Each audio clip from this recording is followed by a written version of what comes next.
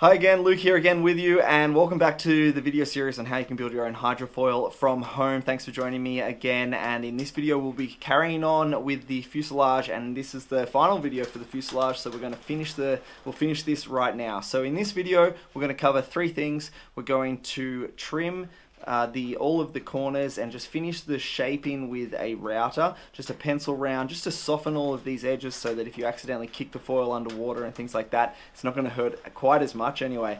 Uh, and we're also going to round the nose of the fuselage over so that it's a bit little more hydrodynamic as it's coming into the water, so it'll be something similar to that and then we're also going to just countersink the underside of the screws. So let's get into it. So the first step will be just to round the radius on the nose of the fuselage. You can pretty much use anything round just to use as a template here, just to mark this radius. So something like this, just put it on the front of the nose and we can just mark a, a small radius there.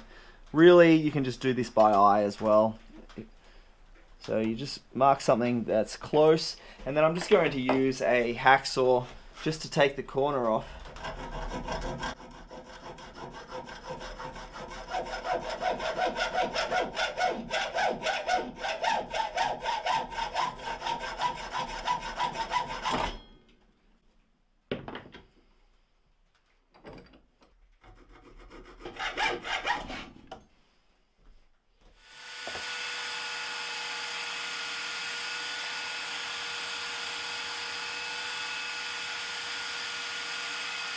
That looks pretty good, I think. You can see just a round around the nose there. And now we'll route the, the corners of the aluminium. So I'm just going to be using a regular pencil round. I think that's a quarter inch pencil round. And we'll just, I'm just going to be using it in a battery trimmer. It doesn't need a lot of power in order to actually do it. Let's go through marking where we need to mark the fuselage because it's really important that we don't go too far. So for instance, you can see here on the existing one where it stops before it in, would intersect with the mast. With this particular fuselage, because we've got the extra width, we can actually run that round past the mast, but we definitely need to stop before we get into the front wing. And then the same in the rear wing here, you can see it's stopping. So we'll mark that out now. So the pencil round, where, where to stop the pencil round is not actually specified on the plans. But like I said, for this one inch, we can actually run the pencil round further forward. So I'm just going to mark the back of the wing. That's what you're essentially doing. So if you make a different size wing, you just want to mark where the wing is going to finish. So for this particular one, we're 15 millimeters in front. That's where the wing finishes. Um, and at, at the nose. And so we're coming back 150 millimeters, which is the size of our actual wing in this in this plan. And so I'm just going to draw a line all the way across. I find that when you start routing, this can get a little hard to remember. And so you have to be really clear about what is getting routed and what is not getting routed. So I just like to cross this out so that when we're coming along, it's very obvious that that is that's the line we're going to stop or start, depending on, on which way we go around. So then this will stay completely square. Um, and then if we flip it over, on the flat surface of the bottom, we've got the same idea. So this way, actually, the wing, the, the fuselage sticks out 5 mil, so it actually goes 5 mil past. So then we come in 5 mil, and then we have 80 mil for the width of the um, wing. So it's actually going to be 85 millimeters from the back of the fuselage to where the front of the wing will be. Again, going to mark that out nice and clear. And this is where, actually just, there we go. Again, just block that off so we know that we're not going to go too far there. Okay, so now what we'll do, uh, the way I like to route it is actually on the on the uh, the top and the bottom of the fuselage. So the router will be sitting on the top and the bottom. That's instead of going on the side. I find that the top and the bottom is easier uh, and we'll be able to create this sort of line as well. So I'll set up the router. Okay, so I've set up the router. You can see it's just underneath that radius, so it's not going to take the full radius. And I'll just like to put the fuselage in the vise. Just obviously make sure that the bearing's not going to hit anything, so you've got a nice clear run. As it comes over the uh, the edge there, do need to get be careful that once it gets to this thin section, it doesn't fall off the bearing and actually dig in. So I like to just go straight off, and I don't don't attempt to go around that corner. So instead of try, uh, instead of trying to go around there, I'll just sand that later and actually run the router straight off. So this is the first section that we're going to do. So it's essentially the bottom. Remembering we've got our line here, so we need to go in front of that. We're going to go all the way and off the front. Similar to this, you can see starting here all the way and off the front. So let's do it.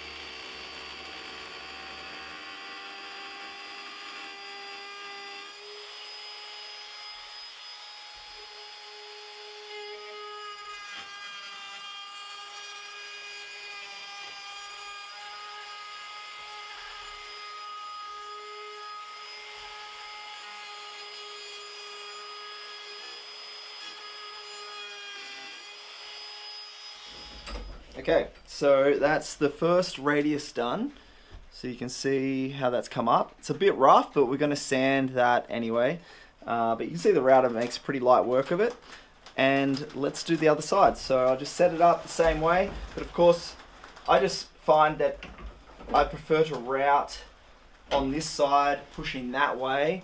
Um, the way that's the way that it's sort of chipping or, or uh, cutting properly. And so I spin it around. I'll start at the nose this time and actually stop at the line at the back.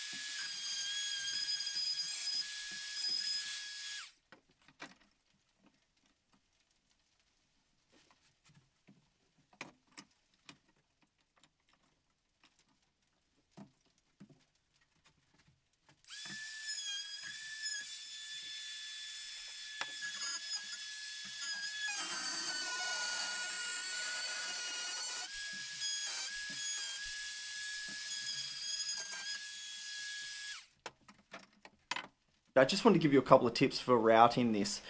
One thing is when the router bit starts to get hot, it'll start to uh, grab a bit of the aluminium and it can wrap around the, the tooth of the beard and start to chatter. And so one way to fix that, or you can do this anytime, is actually just spray some WD-40 along the aluminium before you router it, and that'll be enough lubricant just to run. You can see that this actually created a really nice, where I, where I sprayed before, whereas this, if you can see that, maybe not in the light, but it's sort of more rough where it chatted through. So you can just spray a bit of WD-40, that really helps with the bit. Uh, the other thing is sometimes I, I like to do multiple passes, so you don't just put it in and just drive along the bearing the whole time. If you can actually just have light pressure and just take part of it off and then actually come back with a nice clean sort of finishing run that will give you a better finish as well so that's all we're going to do for the shaping which is exciting now we'll just be sanding this up to make it sort of feel smoother and and finish it but next, before we do that, I like to countersink all of the holes that we need to do so when we do the final sand, it makes everything really smooth. So to countersink, that's what we'll do right now. When it comes to countersinking, you can find any countersink in bit. You could even use a regular drill bit. You can see I've got two options here. This one has more teeth on it, but it's better suited to wood. It's really hard to push this into aluminium. It doesn't bite enough. This one is actually a tungsten carbide router bit.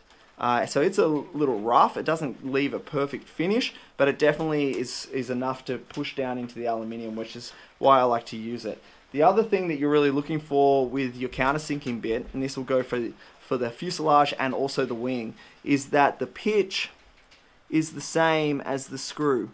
So hopefully you can see that, but that is perfect so that we've got the right angle, so as the screw head comes down, it'll seat perfectly into the countersink. So what we're going to do is, looking at the fuselage, we're going to be be doing the three holes that join to the mast. So the mast screws on the bottom side of the fuselage. So make sure you mark them. You can see I've marked them here so that we don't accidentally do the top.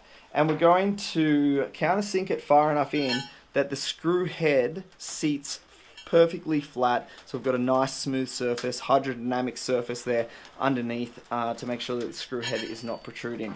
As well as that, we just nick these, if you will. So very light countersink on all of the rest of the screws, just so that we've got a very small chamfer so when we're putting the screws in and everything everything goes really smoothly we don't have any sharp edges. But it's not really a countersink okay? So you're just taking a very small amount but it's these three that we're going to really drive in and make sure these screws sit nice and flat. So I like to use the drill press. You could just use a, an ordinary drill for this but I prefer the drill press so I'm going to set this up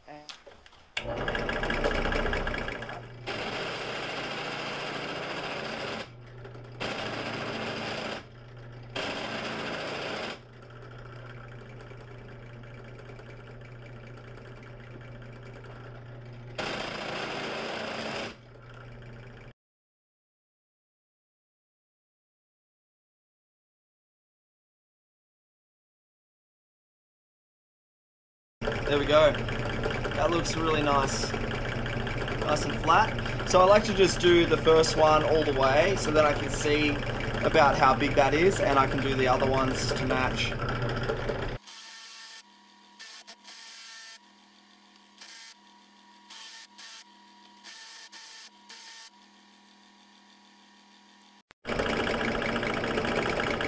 So now with the rest, you're just basically a very light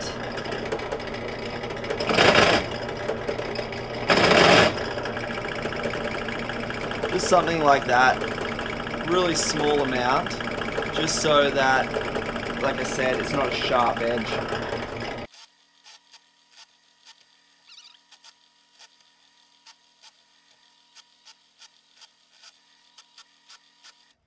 Okay, so that is all done. We've got our three main countersinks and I've just taken just the very sharp burr off all of the other holes on all sections.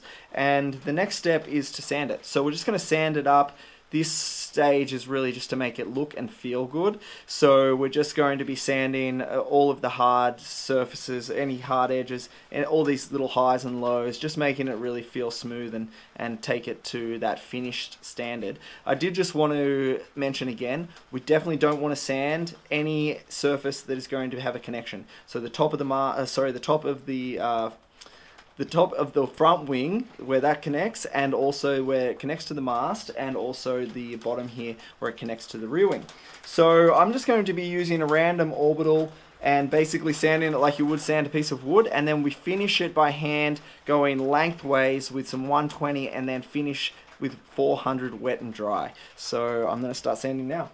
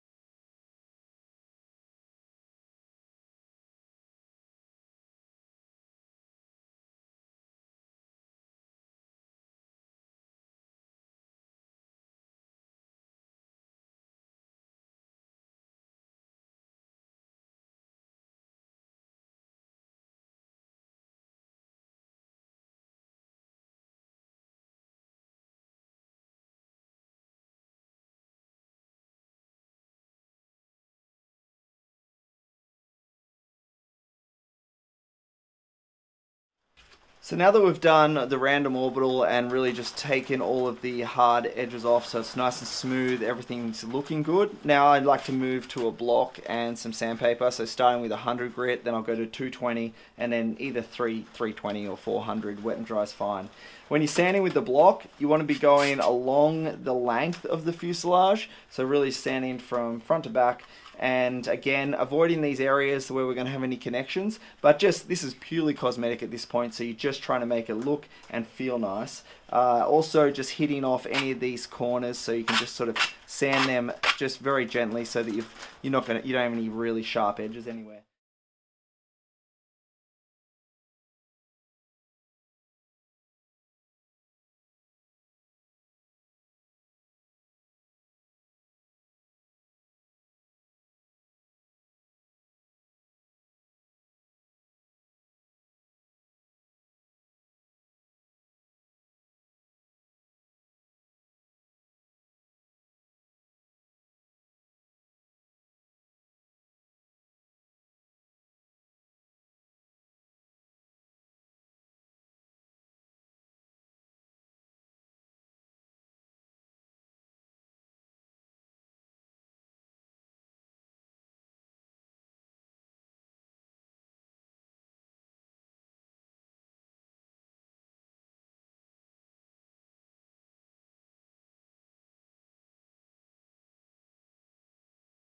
So I finished sanding, and that means we are done with the fuselage. So that's really that's really good news. Uh, it's come up really well. I'm really happy with it actually. That one inch by one inch size, I think it feels really solid, and it doesn't feel too heavy.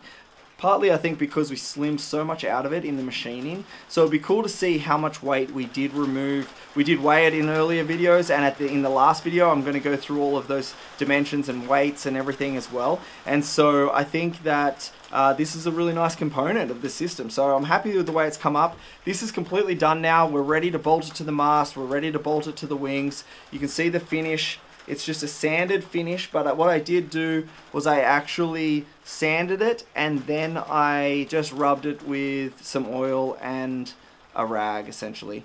But that is a completed component. So Thanks for watching guys, hopefully you're following along, and yeah, like I said, I will see you in the next videos. I'm going to finish the wings.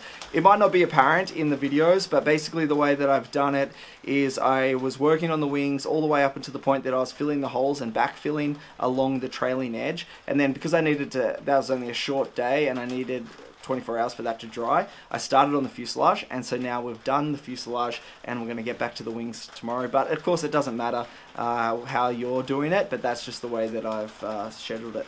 So yeah, thanks again for watching guys and I will see you in the next video.